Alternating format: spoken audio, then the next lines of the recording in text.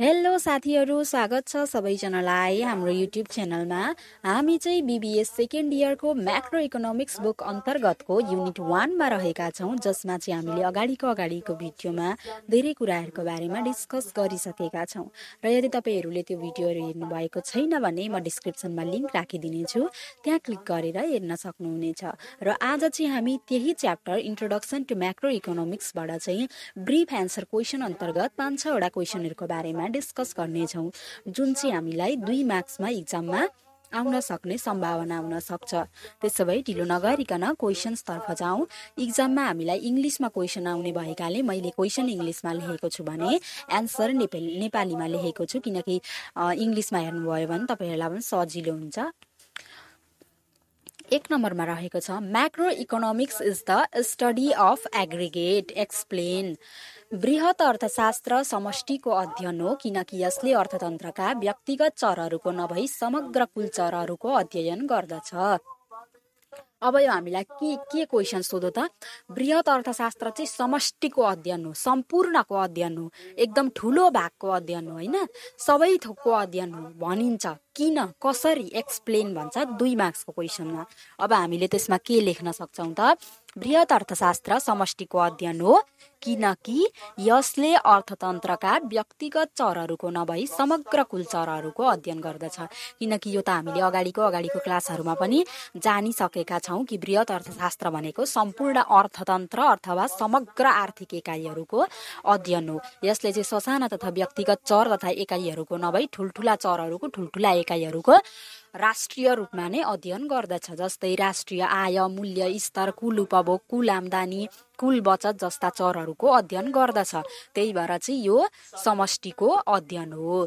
जस्तै यसले व्यक्तिगत आम्दानी नभई कुल आम्दानी व्यक्तिगत उपभोग नभई कुल उपभोग र व्यक्तिगत बचत नभएर कुल बचतको अध्ययन गर्दछ। यति भएपछि हाम्रो दुई मार्क्स आइहाल्यो। हाम्रो दस पन्ध्र मार्क्सको क्वेसन्सहरूमा चाहिँ थ्योरीको क्वेसन्सहरूमा चाहिँ एन्सर लेख्दाखेरि हाम्रो दसमा दस होइन पन्ध्रमा पन्ध्र आउन नसक्ने सम्भावना हुन्छ। तर यो दुई मार्क्सको क्वेसनमा चाहिँ हामीले मिलाएर मजाले कुराहरू पुर्याएर लेखेको छौँ भने चाहिँ हामीलाई दुईमा दुई पनि दिन सक्छ।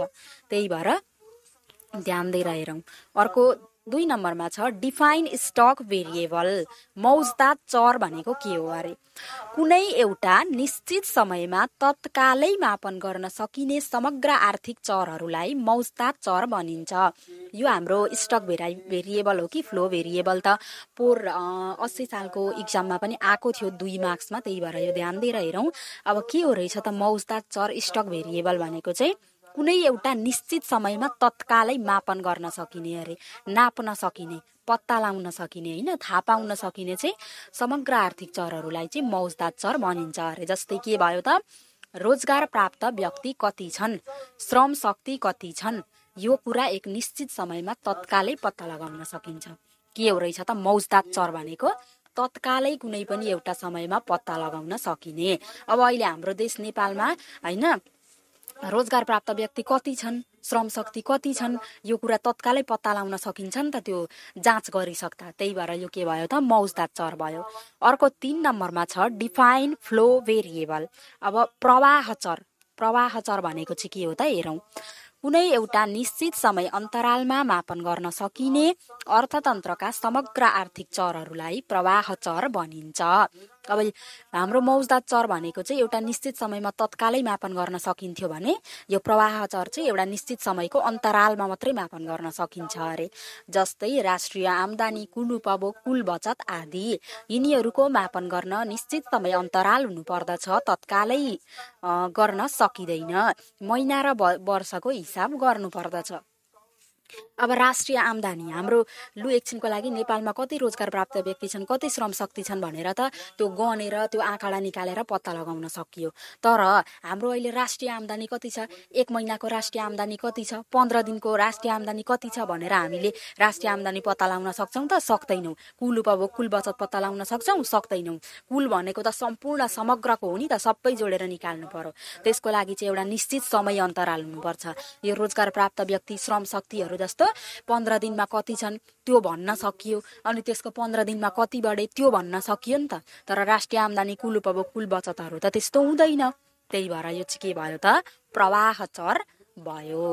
अर्को चार नम्बरमा रहेको छ define macro static analysis or static equilibrium analysis. वृहत स्थिर विश्लेषण वा स्थिर सन्तुलन विश्लेषण। यो चाहिँ बुकमा तपाईँहरूलाई एकदम विस्तृत रूपमा दिएको छ होइन? तर यो चाहिँ मैले दुई मार्क्सको लागि मात्रै भनेको हुनाले थोरै लेख्दा नै पुग्छ। एउटा निश्चित समय बिन्दुमा समष्टि अर्थशास्त्रका चरहरू बिचको सम्बन्ध र यसको सन्तुलनको अवस्थाको बारेमा विश्लेषण गरिन्छ भने त्यसलाई वृहत स्थिर विश्लेषण भनिन्छ। के हो रहेछ त? एउटा निश्चित समय बिन्दुमा चाहिँ वृहत अर्थशास्त्रका चरहरू बिचको सम्बन्ध। चरहरू बिचको सम्बन्ध कस्तो छ र तिनीहरूको सन्तुलनको अवस्था कस्तो छ त त्यो सबै कुराहरूको चाहिँ विश्लेषण गरिन्छ भने के भनिँदो रहेछ त्यसलाई वृहत स्थिर विश्लेषण वा स्थिर सन्तुलन विश्लेषण macro static analysis or static equilibrium analysis त्यस्तै अर्को पाँच नम्बरमा हेरौँ। Define comparative macro static analysis comparative static equilibrium analysis तुलनात्मक बृहत स्थिर विश्लेषण वा तुलनात्मक स्थिर सन्तुलन विश्लेषण। विभिन्न समय अन्तरालमा अर्थतन्त्रका आर्थिक चरहरू परिवर्तन भइरहन्छन् र सन्तुलन बिन्दु पनि पुरानो अवस्थाबाट नयाँ बनिन पुग्छ। यही पुरानो सन्तुलन बिन्दु र नयाँ सन्तुलन बिन्दुलाई तुलना गरी विश्लेषण गरिन्छ भने त्यसलाई तुलनात्मक बृहत स्थिर विश्लेषण भनिन्छ। तर यसले कारण र असर प्रभावका बारेमा अध्ययन गर्दैन। के हो रहेछ त? विभिन्न समयहरूको ग्यापमा समय अन्तरालमा अर्थतन्त्रका आर्थिक चरहरू चाहिँ परिवर्तन भइरहन्छन् अरे होइन? र सन्तुलन बिन्दु पनि पुरानोबाट नयाँ अवस्थामा बनिन पुग्छ। अब यो सन्तुलन बिन्दु चाहिँ नयाँ सन्तुलन बिन्दु र पुरानो सन्तुलन बिन्दु दुइटै तुलना गरेर चाहिँ होइन यदि विश्लेषण गरिन्छ भने त्यसलाई चाहिँ तुलनात्मक वृहत स्थिर विश्लेषण भनिँदो रहेछ। यसमा चाहिँ तुलना गरेर विश्लेषण गरिने भएकाले यसलाई तुलनात्मक वृहत स्थिर विश्लेषण भनियो। तर यसले चाहिँ त्यो पुरानोबाट नयाँ सम्म त्यो सन्तुलन बिन्दु पुग्नुको कारण के हो असर के हो त्यसको प्रभाव के कस्तो हुन्छ त्यसको बारेमा चाहिँ अध्ययन गर्दैन अरे। त्यस्तै अर्को छ नम्बरमा हेरौँ। डिफाइन म्याक्रो डाइनामिक एनालाइसिस अथवा डाइनामिक इक्विलिब्रियम एनालाइसिस। वृहत गतिशील विश्लेषण वा गतिशील सन्तुलित विश्लेषण। वृहत अर्थशास्त्रका आर्थिक चरहरूमा आएको परिवर्तनले अब आर्थिक चरहरू भनेको के के भयो त? जस्तै कुल आम्दानी होइन कुल बचत कुल उपभोग राष्ट्रिय आम्दानी हो यस्तोमा आएको परिवर्तनले परिवर्तन हुन पुगेको सन्तुलन बिन्दु पुरानो बिन्दुबाट नयाँ बिन्दुमा कसरी कति समयमा कुन प्रक्रिया भएर कुन बाटो हुँदै गयो भन्ने सम्पूर्ण कुराको अध्ययन गतिशील सन्तुलन विश्लेषणले गर्छ। यसले बिन्दुमा आएको गतिशीलताको पछाडिको तथ्यहरूको अध्ययन गर्दछ। यसबाट चाहिँ के बुझ्यो त हामीले? हाम्रो वृहत स्थिर विश्लेषणले के गर्दो रहेछ त?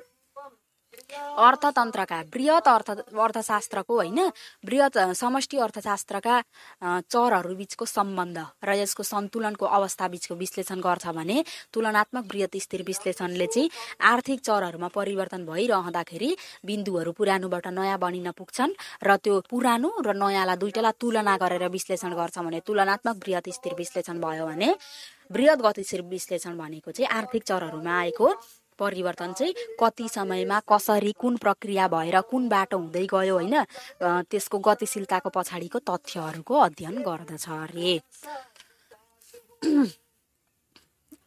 यदि हामीलाई होइन वाट इज म्याक्रो डाइनामिक भनेर सोध्यो भने पनि हाम्रो त्यो म्याक्रो डाइनामिक एनालाइसिस नै भनेर बुझ्नुपर्छ। अर्को हाम्रो सात नम्बरमा रहेको छ explain any one use of macroeconomics in business decision making यो एकदमै इम्पोर्टेन्ट हो दुई मार्क्सको लागि। यो प्रायः इक्जामहरूमा सोधिरह हुन्छ होइन? अब व्यावसायिक निर्णय लिनमा चाहिँ वृहत अर्थशास्त्रको एउटा प्रयोग उल्लेख गर्नुहोस् अरे अब यसको एन्सरमा के लेख्न सकियो? व्यावसायिक निर्णय गर्नका लागि समष्टि अर्थशास्त्र अत्यन्तै महत्त्वपूर्ण छ। समग्र आर्थिक गतिविधिहरू जस्तै राष्ट्रिय आमदानी मुद्रास्फीतिको दर रोजगारीको स्तर आदिको ज्ञानले मागको पूर्वानुमान लगान मागको पूर्वानुमान र सरी रोजगारीको स्तर आदिको ज्ञानले मागको पूर्वानुमान लगानीको निर्णय गर्नमा सहयोग गर्दछ। यो के भयो त? एउटा युज भयो हाम्रो वृहत अर्थशास्त्रको व्यावसायिक निर्णय लिनमा। केमा के निर्णय लिनमा सहयोग गर्यो अरे त यसले? वृहत अर्थशास्त्रको ज्ञानले चाहिँ मागको पूर्वानुमान गर्न मागको पूर्वानुमान गरी चाहिँ लगानीको निर्णय गर्नमा सहयोग गर्यो अरे। यति नै थियो हाम्रो सर्ट क्वेसन्सहरू। आई होप तपाईँहरूले बुझ्नुभयो होला। अब इक्जाममा यो सबै क्वेसनहरूसित रिलेटेड कुनै पनि क्वेसन आयो भने तपाईँहरूले पक्कै पनि सल्भ गर्न सक्नुहुनेछ भन्ने आशा छ। हाम्रो च्यानललाई लाइक कमेन्ट सेयर र सब्सक्राइब गर्न नबिर्सिनु होला।